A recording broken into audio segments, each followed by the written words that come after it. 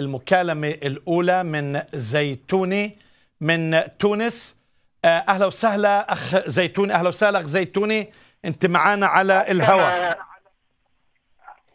أسلمك نزار. أهلا وسهلا. تفضل أخ زيتوني. لماذا التلاميذ اولا بطرس قد أنكره وهو قال في العهد القديم؟ انكرني من أنكرني قدام الناس. أنكره انكره قدام أبي. اولا ثانيا يهوذا الاسخريوطي باعه ب 30 من الدرهم من الفضه ثانيا لماذا التلاميذ اذا هو فعل هذه المعجزات؟ لماذا تركوه كلهم وهم يعلمون أنه هو الله؟ شو بدي أقول لك يا زيتون هذا الإنسان هذا الإنسان اللي ممكن يشوف كل البراهين.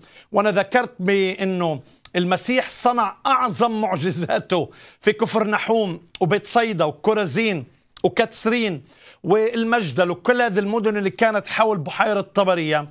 لكن أخيرا عنفها وتكلم بدينونة على هذه المدن اللي رفعت.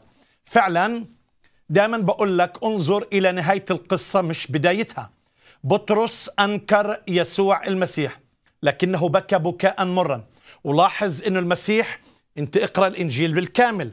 في يوحنا 21 آية 15 كان المسيح مع التلاميذ.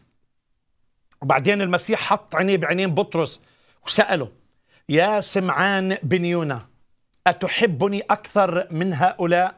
أجاب بطرس وقال له يا رب أنت تعلم إني أحبك. قال له ارعى خرافي. هو المسيح أصلا دعاه من من من قبل يكون يعني راعي وصياد نفوس وإنه يتبع يسوع المسيح. لكنه ضعف وأنكر يسوع المسيح. وحتى يوحنا في السجن عم بيسأل أأنت هو أم ننتظر آخر؟ لكن أخوي زيتوني نهاية القصة إنه التلاميذ امتلأوا من الروح القدس وحلت قوة الله في داخلهم.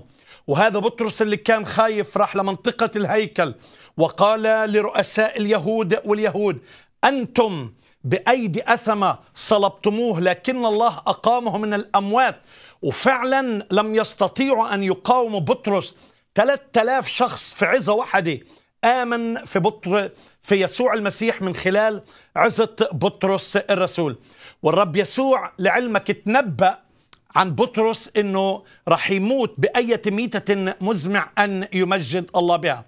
ولما نيرون ابتدأ الاضطهاد في روما وفعلا ألقى القبض على بولس وعلى بطرس بحسب تقليد الكنيسة وإنه فعلا بطرس كان خارج من روما.